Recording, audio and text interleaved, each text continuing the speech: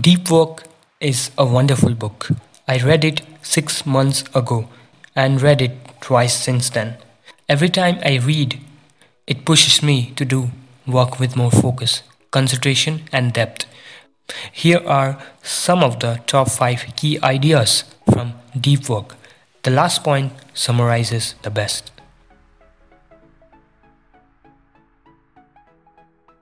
In the new digital world and economy that we live in, everyone has access to information, tools, and techniques.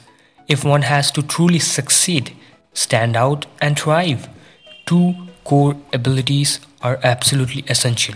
The number one is ability to learn hard things quickly, and number two is produce an elite level, both in terms of quality as well as speed. We have been spoiled to do non cognitively demanding tasks with drop dead user interfaces like smartphones and social media. We tend to take the path of what is easy. If you talk about doing real complex work, analyzing data, going through root analysis, or do complex programming, these are much harder than simply asking question to a search engine like Google. You will stand out only when you develop the ability to learn the hard things quickly.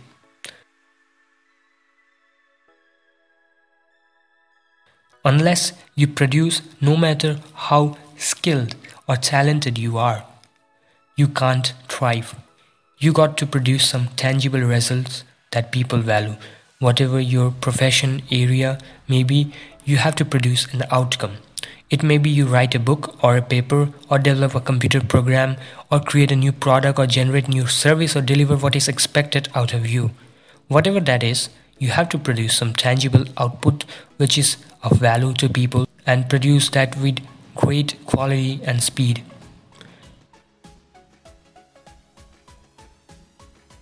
There is a scientific reason why deep work helps to learn hard things quickly.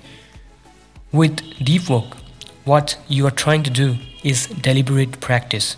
When you focus intensely on an activity or a skill or an idea that you want to learn, a chemical called myelin gets formed on top of the neurons. This creates a brain circuit that can fire quickly and effortlessly in subsequent actions.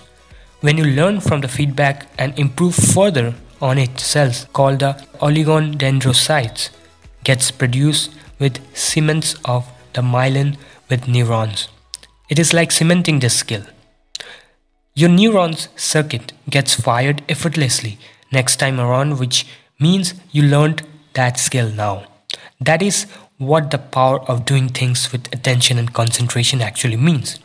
On the other hand, if your attention is divided between multiple tasks simultaneously and haphazardly, even if for a few seconds, neuron circles don't get completed easily, taking long time to learn hard things. To conclude, as good craftsmanship requires deep work, knowledge work too demands deep work. Good, solid outcome and one that makes you stand out and success requires you to learn hard things quickly and produce something of value with quality and speed. Whatever is your profession writer, marketer, consultant, lawyer, doctor, engineer, etc. your work is a craft. If you hone your ability and apply with respect and care, you can generate an outcome similar to top skilled people. Depth generates a life rich with productivity and meaning. Deep work leads to a deep life, and a deep life is a life well lived?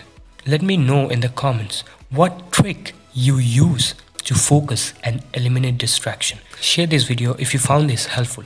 Subscribe Inspiration Abode to learn more rare philosophies and ideas for a better life.